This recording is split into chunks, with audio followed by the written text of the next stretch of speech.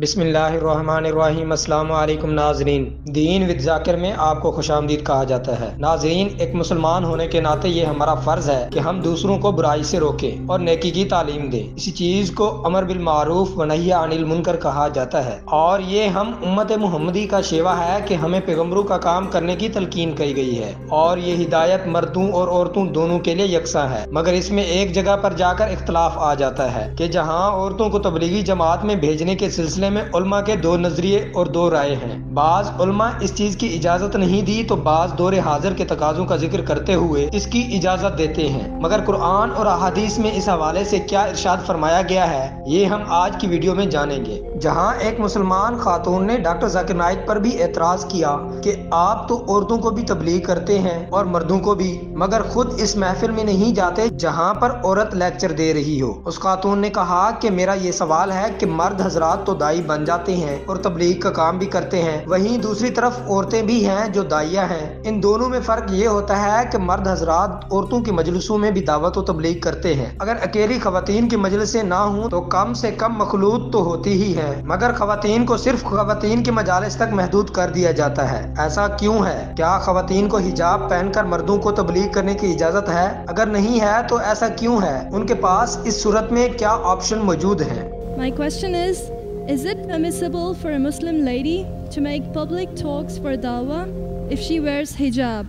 If no, what are the other options? Thank you. Doctor Zakir Naik نے اس بہن کو بتایا کہ واقعی ایسا ہی ہے۔ اگر خاتون دعوت کا کام کرے اور یہ صرف اور صرف خاتون کے سامنے ہو تو کوئی مسئلہ نہیں ہے۔ میری اہلیہ بھی دائیا ہیں۔ انہوں نے ہزاروں لاکھوں لوگوں کے سامنے لیکچر دیے ہیں۔ اور صرف بھارت ہی نہیں بلکہ دنیا کے کئی ممالک میں انہوں نے تبلیغ کا کام کیا ہے۔ سعودی عرب، دبئی، امریکہ، کینیڈا سمیت کئی ممالک میں انہوں نے لیکچر دیے ہیں۔ اور انہوں نے بھی صرف اور صرف خواتین کے مجالس کے اندر ہی تبلیغ کا کام کیا ہے۔ جہاں تک خواتین کے مخلوط مجالس میں تبلیغ کا کام کا تعلق ہے تو اس میں مختلف قسم کی آرا ہیں۔ کچھ سکالرز کہتے ہیں کہ کوئی بھی خاتون مخلوف محافل میں سٹیج پر جا کر اسلام کی دعوت دے سکتی ہے۔ اس میں کوئی مذاہقہ نہیں ہے۔ مگر وہ سکالرز جو قرآن و سنت کے زیادہ قریب ہیں، ان کی رائے مختلف ہے۔ وہ کہتے ہیں کہ خواتین مخلوط محافل میں تبلیغ نہیں کر سکتی۔ اور میں ان سے متفق ہوں۔ اس کی وجہ یہ ہے کہ قرآن پاک نے سورہ نور میں ارشاد فرمایا ہے کہ ایمان والوں سے کہہ دو۔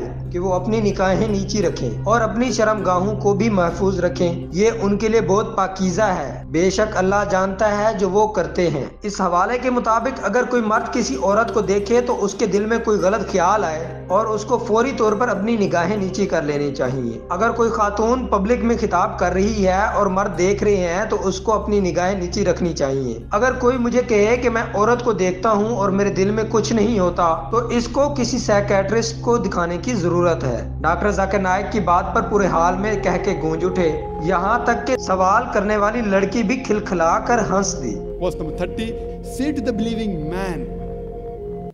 that he should lower his gaze and guard his modesty. Whenever a man looks at a woman, any brazen thought comes in his mind, he should lower his gaze. So if a woman is giving a talk in public and if the men are watching, they should lower their gaze. If someone tells me I look at a woman and nothing happens to him, then he requires a psychiatrist.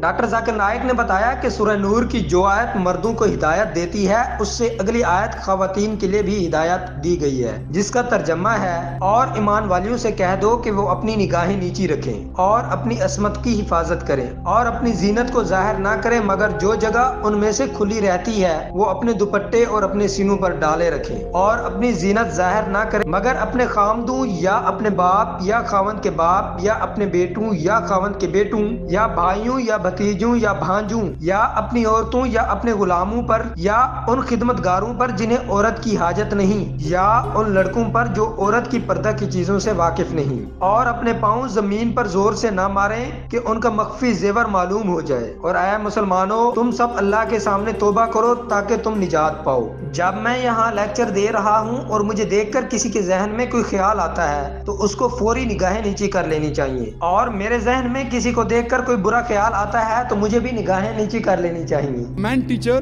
teaching a woman audience then a woman teacher teaching man audience scientific research in spite of that if any woman looking at a guy including me if some انشم thought come they should lower your gaze but a woman is less excited as compare to a man that the reason I agree with the second group of scholars to say for woman to give lectures in mix gatherings it's not possible doctor Zakir Naik نے بتایا کہ میں پیس T V چلا رہا ہوں اور ہم سختی سے اس چیز پر عمل کرتے ہیں کہ اگر ہم اپنے ٹی وی سکرین پر کسی خاتون کو دکھا رہے ہیں تو تین سیکنڈ سے زیادہ نہیں دکھاتے۔ اس بارے میں شریعت کچھ نہیں کہتی کہ کتنے سیکنڈ دکھانا ہے، یہ ہمارا اپنا اجتہاد ہے۔ جس میں ہم نے مشاورت کے ساتھ مل کر فیصلہ کیا۔ چاہے کتنا بھی شائستہ لباس پہن کر رکھا ہو، عورت پیس ٹی وی پر تین سیکنڈ سے زیادہ نہیں آتی۔ بہن، میں اسکالر سے اتفاق کرتا ہوں جو کہتے ہیں کہ عورت کو مخلوط محافل میں تبلیغ کا کام نہیں کرنا چاہیے۔ اور دعوت کے لیے سٹیج پر آنا ضروری نہیں ہے۔ آپ انٹرنیٹ پر، ای میل پر یا کتابیں لکھ کر دعوت و تبلیغ کا کام کر سکتی ہیں۔ اس میں کوئی مسئلہ نہیں۔ دعوت دیتے وقت اس چیز کا خیال رکھنا چاہیے کہ مرد مرد کو اور عورت عورت کو دے۔ کچھ ممالک میں میں نے دیکھا کہ ایک مسلمان دائی ایک غیر مسلم عورت کو اکیلے میں تبلیغ دے رہا ہے۔ آپ صلی اللہ علیہ وآلہ وسلم نے فرمایا کہ اگر مرد اور عورت ایک کمرے میں اکیلے ہوں تو تیسرا شیطان ہوتا ہے۔ میں بھی اکیلے میں کسی خاتون کو تبلیغ نہیں کر سکتا۔